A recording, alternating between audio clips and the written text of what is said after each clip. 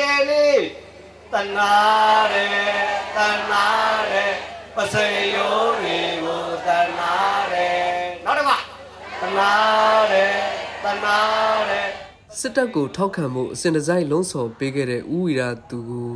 အာနာသိမ့်ပြီးတဲ့နောက်မှာစစ်ကောင်စီကပြစ်ပစ်ခါခါလိလျူရှုထားတယ်လို့ဦးဝီရာသူလွတ်မြောက်ရေးကြိုးပမ်းနေတဲ့ဝီရဝန်တာအဖွဲ့ရဲ့နာယကဆရာတော်ကမိန့်ကြားလိုက်ပါတယ် အကြည်ညိုပြည့်စင်မှုပုံမှန်124ကကြီးနဲ့ဖမ်းဆီးခံရတာချင်းအတူတူစစ်ကောင်စီကကြံတဲ့လူတွေကိုလွတ်ပေးပြီးဥဝီရသူကိုပြန်မလွတ်ပေးတဲ့အပေါ်အံ့ဩဝမ်းနဲ့စိတ်ပြည့်ရတယ်လို့ဝီရဝန်တာအဖွဲ့ကဆိုပါတယ်သူနဲ့ဝန်တူဘုတ်ကကြီးပုံမှန်တူတွေဖြစ်တဲ့ဘူးလက်ရွှေတို့အဘူးလက်ဆွေတို့နောက်လှဝင်းတို့နောက်ပြီးတော့မိုက်ကယ်ကျော်မြင့်တို့ဦးထေးအောင်တို့ကလားထေးအောင်တို့တောင်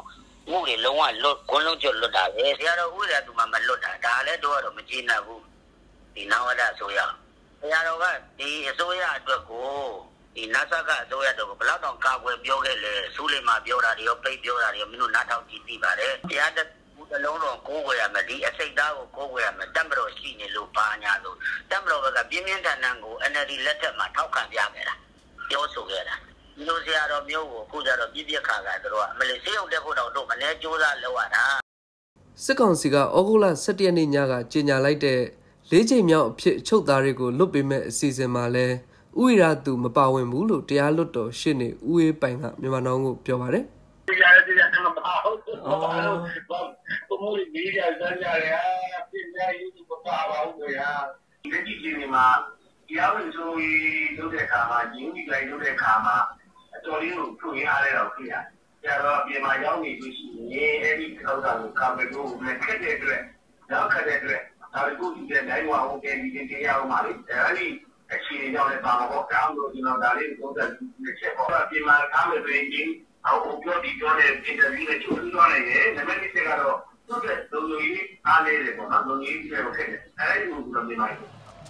ဥရသူဟာမေလပိုင်းကစပြီးအခုထိမင်္ဂလာရုံစစ်ဆေးရုံမှာစေကုသမှုခံယူနေတယ်လို့အကျဉ်းဦးစီးဌာနတာဝန်ရှိသူကပြည်ရင်းသတင်းဌာနတစ်ခုမှဖြေကြားထားပါတယ်။ အခုလိုစေကုသခွင့်ရဖို့တော့အကျိတ်နဲ့စ조사ခဲ့ရကြောင်းနဲ့လက်ရှိမှာကိုဗစ်ကာကွယ်ဆေးတော့မထိုးပေးဘူးလို့တကုံအရှိပိုင်းမြို့နယ်ကေတရာယာမကျောင်းတိုက်ရဲ့ဗราဏနာကဆရာတော်လည်းဖြစ်တဲ့ဗရဏကေတရာကမိန့်ပါတယ် စစ်တပ်ကြီးကိုထောက်ခံရတာလည်းခက်ပါတယ်တို့တကယ်အထင်ကြီးပုဂ္ဂိုလ်တွေတောင်ကာကွယ်ဆေးကိုလာထိုးမပေးသေးဘူးထိုးဖို့တောင်းဆိုနေတာလည်းဘယ်သူမှဘာမှလုပ်မပေးပါဘူးထိုးရသေးဆရာတော်လည်းမထိုးရသေးဆရာတော်ဖေးနန်းလူလည်းမထိုးရသေးဘူးကွက်မြန်တမင်တကာခြံခဲ့တာလည်းမသိပါဘူးတေချင်တေပေးစီဆိုတော့ ဒီဗီဒီယိုဖိုင်လေးကိုမြည်ပေးထားပါတယ်။သင်္ငုတ်ကို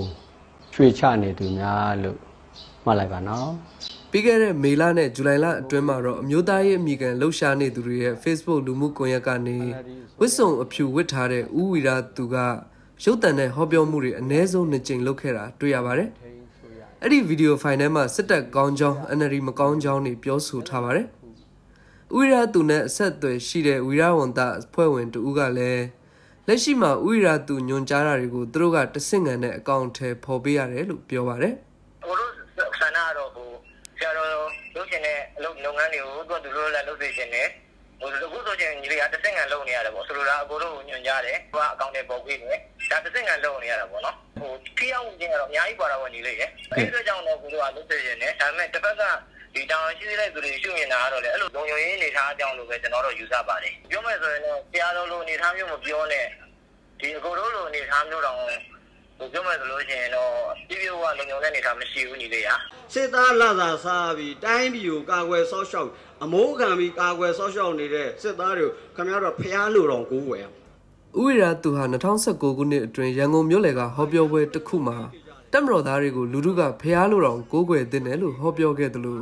NLD အစိုးရနဲ့ဒေါန်ဆန်းစုကြည်ကိုလည်းရုံရင်ကြမ်းတမ်းတဲ့စကားလုံးတွေနဲ့တောက်လျှောက်တိုက်ခိုက်ခဲ့ပါတယ်။အဲ့ဒီနောက်နိုင်ငံတော်အကြီးအကျယ်ပြည့်စုံမှုပုံမှန်124ကကြီးနဲ့အမှုဖွင့်ခံရပေမဲ့အဖမ်းမခံပဲတစ်နှစ်ကျော်လောက်ဝရမ်းပြေးဘဝနဲ့တင်းရှောင်နေပြီး2020ထွေထွေရွေးကောက်ပွဲကျင်းပဖို့6ရက်အလို